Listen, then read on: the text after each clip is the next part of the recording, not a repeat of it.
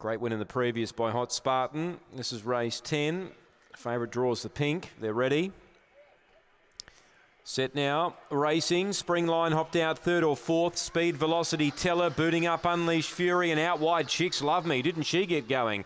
Chicks Love Me goes up to join the leader, which is Unleashed Fury. They run together, three lengths away to Aston Wines.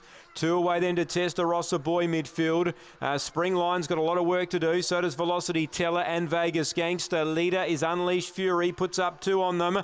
Aston Wines may be the late threat, running on Spring Line inside the 50. Unleashed Fury hanging on. Aston Wines getting close, but not close enough.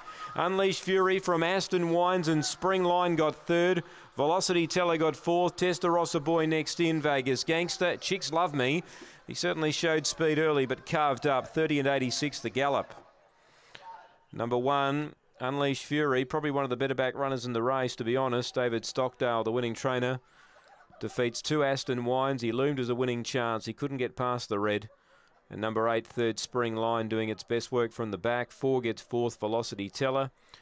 30 and 86 the time. It's a half a length by three quarters.